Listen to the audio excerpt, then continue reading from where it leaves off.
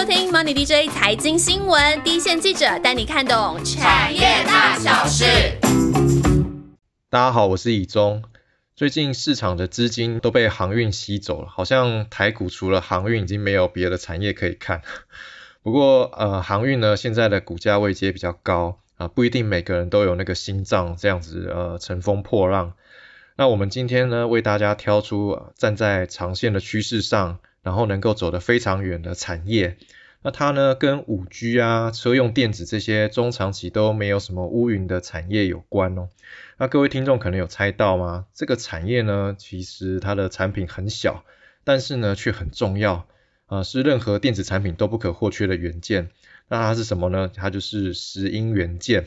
那大家可能听完还是不知道石英元件是干嘛的。那我们先介绍主跑的记者建奇，建奇来帮大家先简单介绍一下，呃，石英元件到底是什么东西呢？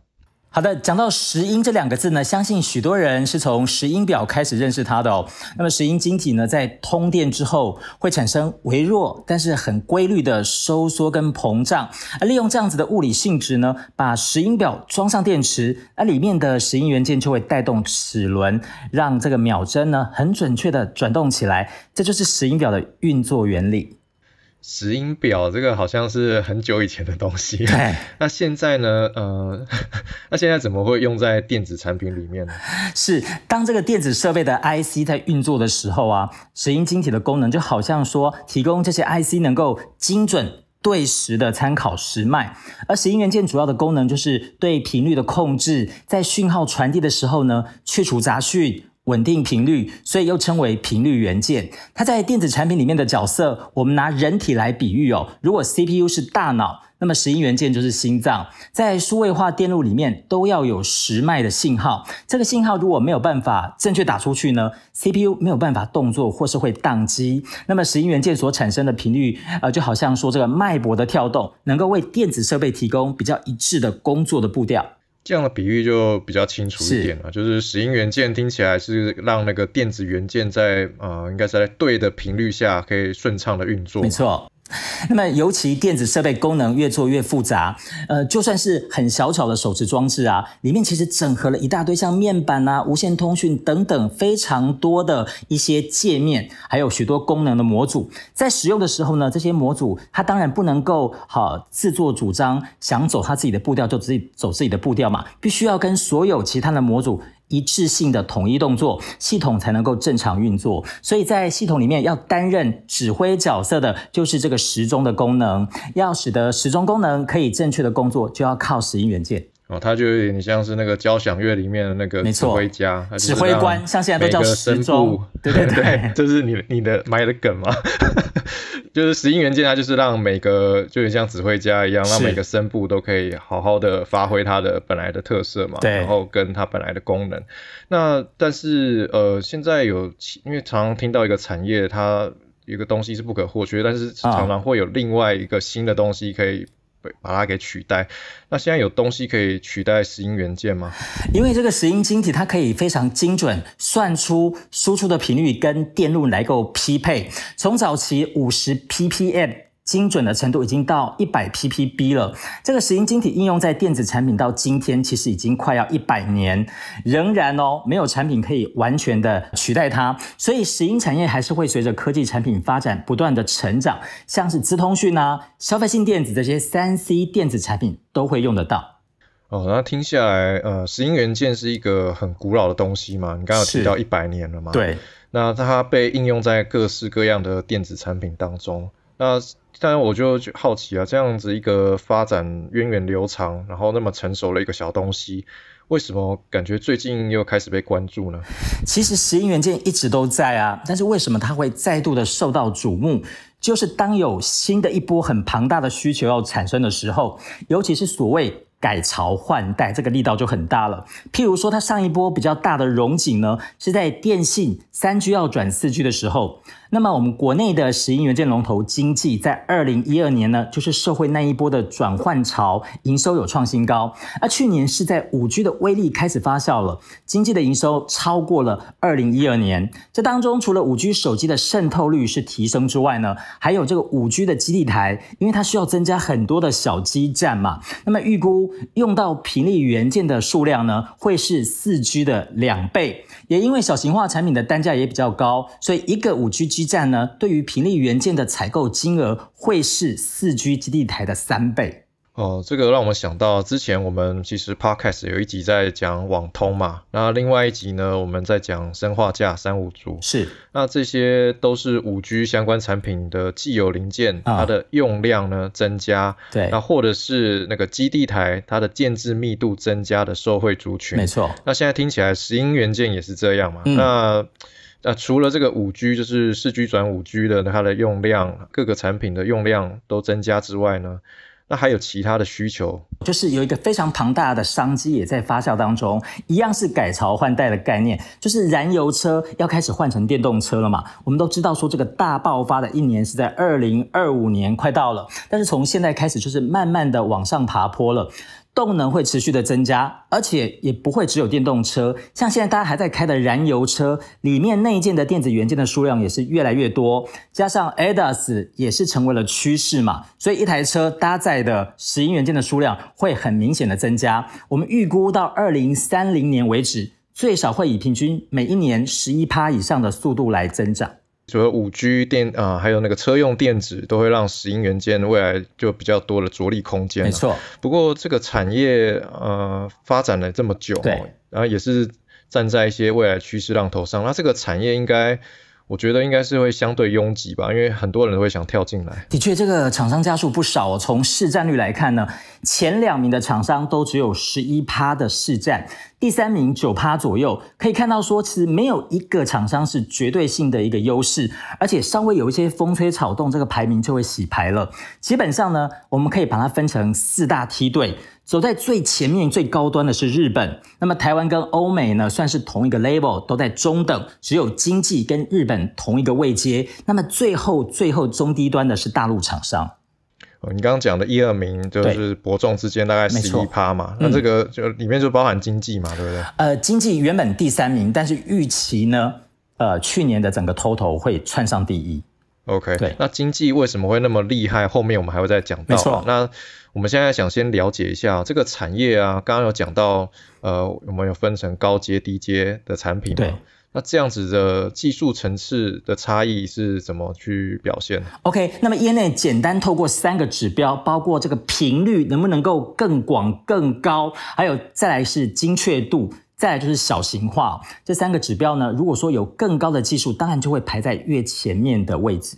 哦，那大家其实这样听下来，因为大家比较熟知的是那个细晶圆呐，细就是细半导体、细晶圆代工。那现在的确就是细晶圆，它是用呃纳米的节点简单去区分它的门槛嘛。那譬如说七纳米、五纳米、三纳米，然后越做越小嘛，那就代表呃越往下比较就比较厉害。是。那型元件呢？它你刚刚讲到那个小型化，它是怎么表达呢？具备小型化的能力的厂商多吗？OK，这个石英元件的核心技术在它的晶片设计哦。那么随着小型化的趋势呢，不管是我们常听到一些尺寸的数字，一六一二啊，一二一零或是一零零八，每往更小的门槛来发展都是大大的挑战。目前能够跨过这些门槛的石英元件厂。全球算起来不超过五家。那么，经济这几年投入大量的资源呢，在五 G 的研发还有制程的改善呢，呃，包括像是晶片设计、封装能力，还有高精密产品的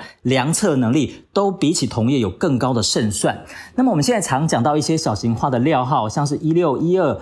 呃，或者是更小的。刚刚我念了一大堆数字，可能大家听过就忘记了。那么一六一二前面这个一六代表它的长是一点六毫米，一二是宽一点二毫米。它如果要再缩小到一零零八呢，整个体积大概是又缩小了五分之一。哦，这个毫米，这个我听完其实还是有点头昏。昏掉了，对。有什么例子可以 可以帮我们？打个比方吗？到底有多小？好，我们讲到这个小型化比较小的一零零八，到底小到什么样的程度？我们如果说用一 cc 的水，大概会有多少？大家稍微有一点概念了，对不对？小小的一点。嗯。那这个一零零八的尺寸呢？这个体积换算下来，就差不多是一 cc 的水再缩小差不多快四千分之一，非常的小。哇，那这非常的小那这个没错，尺寸越小，是不是难度就越高？那它会需要用到不一样的技术吗？哦，那当然哦，从四 G 跨到五 G 呢，频率元件的厂商研发跟生产的技术会成为最重要的关键。那事实上呢？高频还有微型化对石英元件本身就是大挑战。石英晶体的频率呢，是从它的厚度来决定的。也就是说，你要更高的频率呢，你就要把它磨得越薄。只要差一纳米的厚度，就会产生误差多少？大概二十 ppm 哦。但是如果说这个石英磨得越薄，就越容易破掉嘛。因此，在制程上也开始从原本用研磨的方式呢，改用微机电技术 MENS M E N S。哦，那呃，听起来就是石英元件它也有微小化的趋势嘛。那对，那关键就在于它越做越小，但是如果又能够保持良率还有品质，就是它的技术难度所在。是。那呃，建奇提到的那个。刚刚前面有提到石英元件的产业的板块有一些转变嘛，就是一些市市占率的升跟降。对，那台厂呢开始能够挑战日本独霸的地位嘛？那这是当中呢，刚刚其实已经一直都有提到这个技术突飞猛进的厂商就是经济。嗯，那为什么它能够被就是它的进步能够那么快呢？那如果未来石英元件的产业是迎来比较大的成长，刚刚讲到五 G 车用电子嘛，那经济。有机会把差距再拉大吗？那现在就进入我们的彩蛋时间。好的，经济的股价呢，在前阵子创下了一百四十元的历史新高，但是它挂牌了二十年，也是到今年才看到三位数哦。在两三年前的时候呢，还只有三四十块钱。是什么样的动能让这家公司可以一路的涨上来呢？当时的石英产业正陷入了连日本厂商都带头杀价竞争，只有经济不跟着淌浑水。而日厂虽然说从经济的手上啊，也因此抢走了市占第三名的位置，但也付出了亏损的代。代价，而经济呢，反而从来没有亏损过，而且这段时间呢，他也没有闲着，非常的重视技术研发。光是他一家的工程跟研发人员呢，比所有台厂同业加起来还要多，并且提早为了五 G 在做准备哦，很忙着跟客户 design。过去几年，每一年都会投入大概营收一成的资本支出来提升技术，去年更是一举砸下了。当年营收的十五趴，也就是有十七亿的资本支出，扩产了百分之二十五。那么今年呢，预计还会再投入将近二十六亿，再扩百分之二十五。那么正当经济忙着从值啊跟量来加深自己的护城河的时候，这段期间日厂因为之前财务亏损嘛，它这个教训是让它没有明显的扩产，直到最近发现说这个需求真的太强劲了，产能都满了啊，如果再不扩产呢，只能够眼巴巴看着订单被对手都拿。走了，但是现在设备从订购到进场，少说也要六到八个月哦。更且何况，如果说建新的厂，那这个时间就要更久了。加上日厂呢，也不算疯狂的乱扩产。以 NDK 日本电波传出要投资大概四亿日元来扩产呢，目前也已经进入了设备订购的阶段，但是月产能大概就是提高一成，这个幅度算是很客气的。而经济呢，早就已经超前部署了。以他去年营收年增三成，突破了一百一十亿创新高来看呢，如果没有意外，那么经济会夺下全球的市占冠军。而另外值得一提的是呢，在二零一九年美中贸易战打得如火如荼啊，这大家都还关注说这个华为跟苹果到底排名会不会谁上去谁下来？但是经济是老神在在的哦，因为不管是 H 牌还是 A 牌呢，都是它的前五大客户，所以说不管怎么变化，对它的营收是没有影。影响的。那么当时他关心的反而是呢，在五 G 上路之后，接下来的两年会有手机的换机潮，这么庞大的商机，他是不是已经做好准备了？好，刚刚那个建奇呃介绍那个经济的竞争优势嘛，然后其实可以很清楚的看到，就是呃经济它在那个产业比较低迷的时候，它反而就是呃。增加它的研发支出，然后让它的呃竞争力可以提升，然后让等待下一波产业龙井再上来的时候呢，它就有这样的条件，可以再跨出更大的步伐。但是相对的，我们现在看到经济这么的成功哦，不禁也会让人担心，就是因为后面其实还是有追兵嘛。你刚刚提到有领先族群的日厂啊，然后台厂也算是不错，然后但是后面还是有中国的厂商，那他们对未来台厂会形成威胁吗？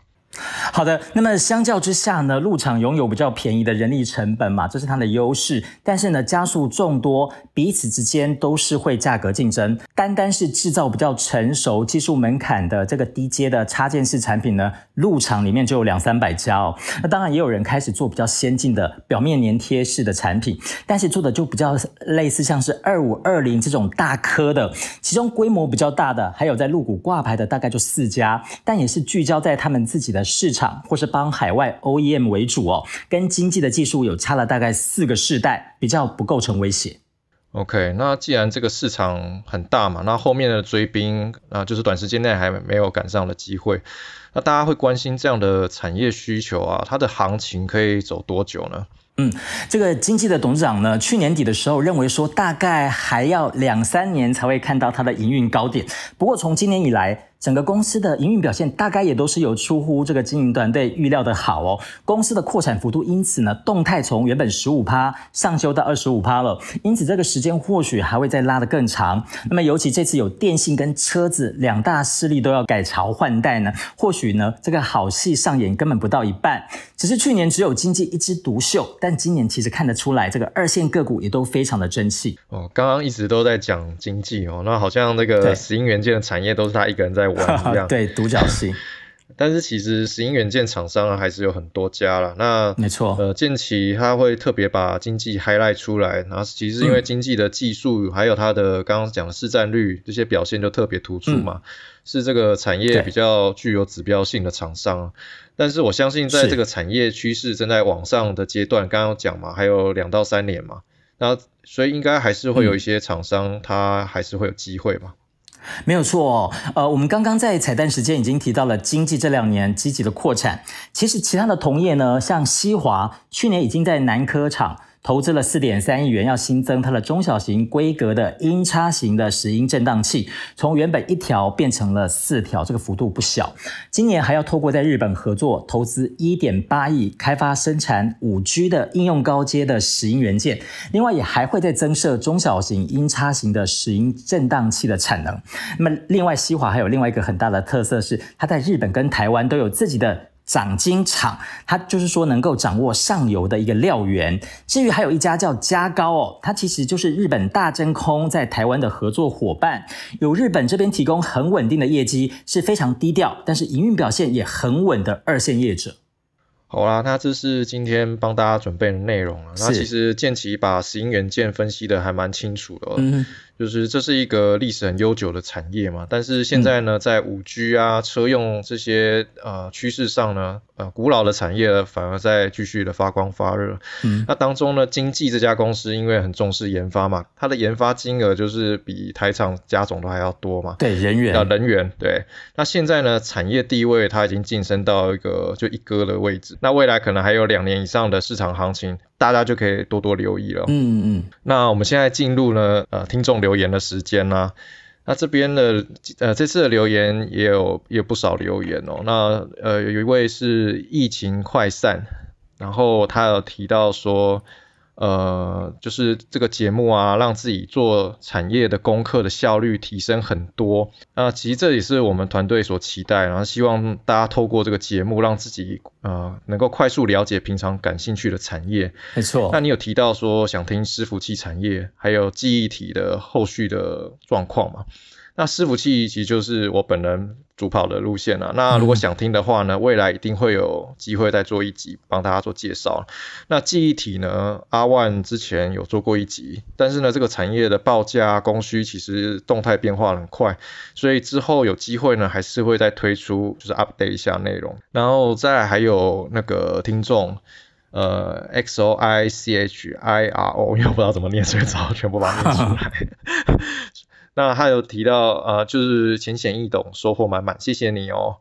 然后还有一位是那个 J I R O C H，他有提到说我们节目中的互动啊越来越有娱乐效果。其实我们团队的确有很多人，呃，天生就是有当谐星的料，那就是大家应该听久了应该会发现哦，对啊。那对，谢谢你的支持啊。那你也提到说。财报那集讲的很不错，然后希望八月中旬 Q2 财报公布的时候呢，可以再用一些更多的实例来讲解。那这个提议我觉得还就是非常的不错，就是在那个时间点就在做那个财报的分析的话，会更有临场感。那我们会在讨呃内部就会再讨论。那还有就是那个 Archery 呃韭菜地方爸爸。也有提到说相见恨晚，终于听到呃分析产业的频道，然后对于那个 IC 展板那一集呢，呃受益良多啊，谢谢你哦。然后还有大菠萝，他呃他这边有提到说那个台股的那个冷门股造势嘛，然后对台股的影响，不知道可不可以分析一下？那不瞒您说，我们团队其实是那个冷门股的专业户了，没错，就是。所以你的题目呢，其实真的蛮不错的，然后可以，我们其实可以找一集好好聊一下这些体质很好，但是呢，一直以来都没有被市场看到的好公司。那我们团队还会再讨论看看这样子。那好啦，那最近就是呃，因为那个要微解封嘛，对不对？那但是大家还是要注意那个防疫，那平能够平安度过疫情。所以呢，呃，如果喜欢我们节目呢，那还是要记得一定要多多帮我们留言哦。那我们下次见喽，拜拜，拜拜。